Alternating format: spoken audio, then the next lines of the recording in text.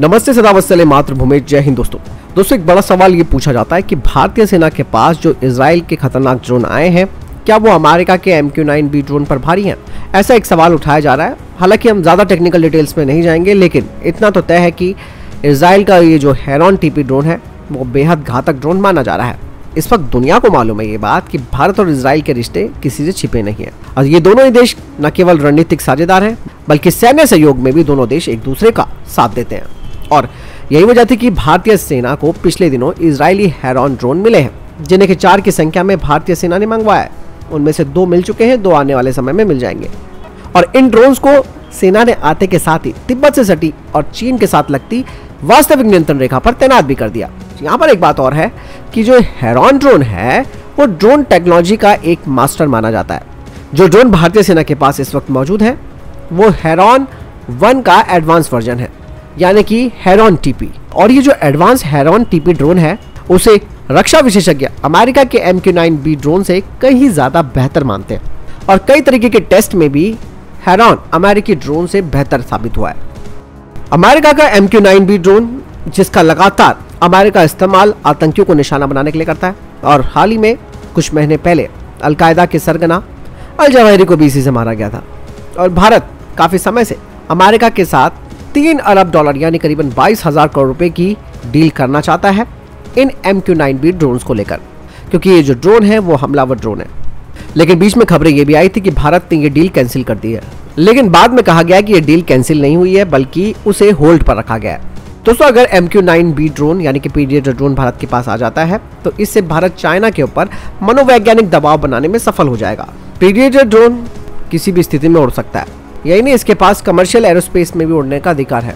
ज़मीन से 15 किलोमीटर की ऊंचाई पर उड़ सकता है। इसकी अधिकतम स्पीड है 400 किलोमीटर प्रति घंटा और ये 35 घंटे तक आसमान में बना रह सकता है। इसे इस तरीके से हाईटेक टेक्नोलॉजी के साथ डिज़ाइन किया गया है कि कोई भी मैकेनिकल और इलेक्ट्रॉनिक फेलियर इसे प्रभावित नहीं कर सकते। इसी वजह से ये लंबे समय तक उड़ान भरने में सक्षम है और ये मध्यम ऊंचाई पर इंटेलिजेंस सर्विलेंस और यहाँ तक कि दुश्मन के अड्डे की वीरे की कर सकता है। खास बात यह है, इस पीडिएटर ड्रोन में कि इसमें हथियार ले जाने की क्षमता है। अमेरिका ने इसे संघर्ष वाले क्षेत्रों में खास करके मिडिल ईस्ट में, तैनात किया हुआ है। टारगेट की लोकेशन का पता लगने के बाद, इसका जीपीएस गाइडेड सिस्टम उसे सेकंड्स में तबाह कर देता है। ये ड्रोन आठ हेलफायर मिसाइलों के अलावा दो साइड विंडर दो एमराम मिसाइल दो मैवरिक मिसाइल दो 227 किलोग्राम वाले स्मार्ट बम कैरी कर सकता है। हथियार लोड होने के बाद इसका वज़न 2177 किलोग्राम तक पहुँच जाता है। वही जो डिफेंस एक्सपर्ट्स हैं उनका मानना है कि ये ड्रोन पाकिस्तान से सटी एलओसी और चीन से लगी एलएसी की न सिर्फ़ रेकी या जासूसी कर सकता है बल्कि ज़रूरत पड़ने पर छोटी सर्जिकल स्ट्राइक भी कर सकता है। इसी वजह से अमेरिका की सेना इस ड्रोन पर काफ़ी विश्वास करती है। अब बात आती है हेरॉन टीपी ड्रोन की। इस ड्रोन को विशेषज्ञ अमेरिकी ड्रोन से बेहतर बता रहे हैं। हेरॉन की रेंज 7,400 किलोमीटर है। ये ज़मीन से 14 किलोमीटर की ऊंचाई पर उड़ सकता है। यानी कि अमेरिका के पीरियड ड्रोन से केवल एक किलोमीटर नीचे। साथ ही ये अमेरिकी ड्रोन की तुलना में 30 घंटे से कुछ ज़्यादा समय तक हवा में रह सकता है। और हेरोन की स्पीड चार सौ बयासी किलोमीटर प्रति घंटा है। अब बात आती है हेरोन टीपी पर क्या हथियार लगे हैं। हालाँकि इसराइली एरोस्पेस इंडस्ट्री कभी भी इस बारे में ज़िक्र नहीं करती है।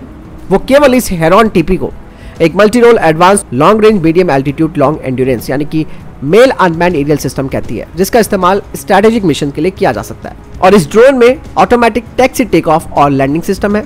ये सैटेलाइट कम्युनिकेशन यानी कि सेटकॉम के साथ भी जुड़ा हुआ है। और इसमें अत्याधुनिक एवियोनिक्स लगे। यानी इसके बारे में कहा जाता है एरोन टीपी के बारे में कि इसमें synthetic aperture radar communication intelligence global system mobile electronic support measures और इलेक्ट्रॉनिक इंटेलिजेंस सिस्टम लगे।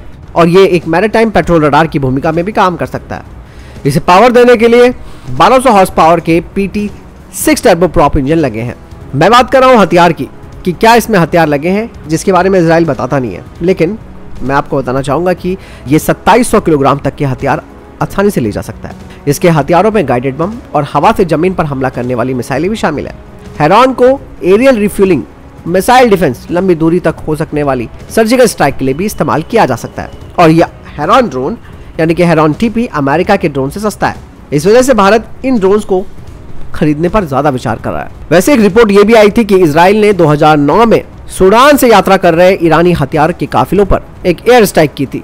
जिसमें कि इस ड्रोन का इस्तेमाल किया गया था। लेकिन मैंने कहा ना कि कभी भी इसराइल इस बारे में नहीं ज़िक्र करता कि उसके ड्रोन हमला करने में सक्षम है।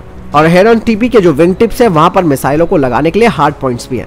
इसलिए ये जो हेरॉन टीपी है, वो कॉम्बैट प्रूवन सिस्टम कहा जाता है। हालाँकि दोस्तों, अत्याधुनिक टेक्नोलॉजी के साथ भी हमें मेल खाना ज़रूरी है, लेकिन एक बात हमें नहीं बोलनी है कि भाई, अपना खुद का स्वदेशी हथियार बंद ड्रोन भी आना ज़रूरी है, जिसके लिए मैंने आपको बता दिया कि पारस एरोस्पेस ने अपना काम शुरू कर दिया है।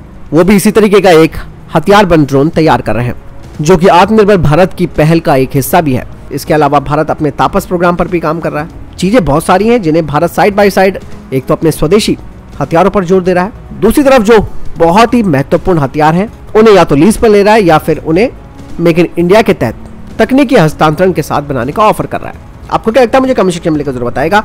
मिलता के साथ। जय हिंद बंदे मातरम।